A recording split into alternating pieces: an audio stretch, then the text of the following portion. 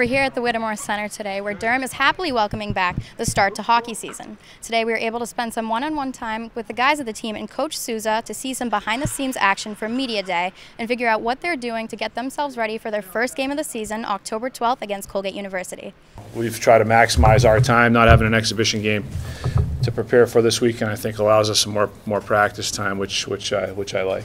You know, it's it's always nice to get out there against somebody else, but We'll use the time on Saturday to, to not do a formal inter squad game, but to, uh, to do some five on five stuff against each other in a, in a controlled environment. Going into your last year, obviously it's exciting. Uh, you want to do well and you want to leave uh, leave your mark. Uh, but obviously it's a team goal here.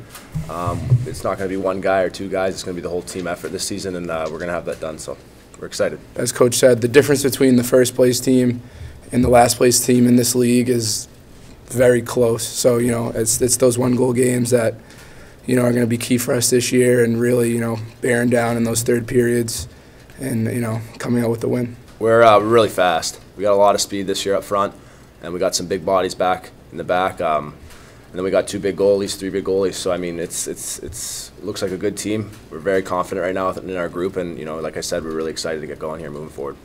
More information will be available in the following week about the UNH Colgate matchup. For UNH Wildcat Productions, I'm Natalie Norrie.